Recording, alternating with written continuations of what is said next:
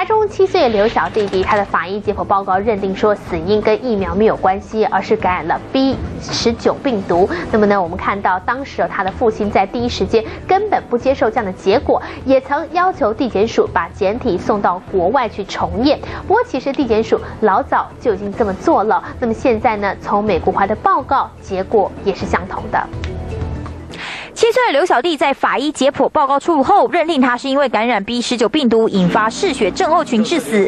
他做医师的父亲第一时间怒斥这样不对，还要求地检署将儿子的检体送往国外重验。但地检署有了大动作反击。法医研究所呢，在这一个事件发生以后呢，也就已经将啊解剖所取得的部分检体呢，已经送美国疾病管制局。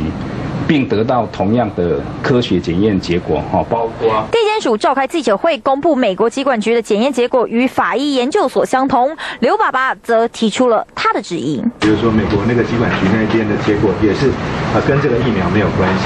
我想不，啊，我们我们不会做这样的报告嘛，哈，因为我们只是说目前没有积极的证据有呈现，哦，这个跟打疫苗有关。你讲你的我可以讲我的哈，然后每个人有发表权利，彼此尊重。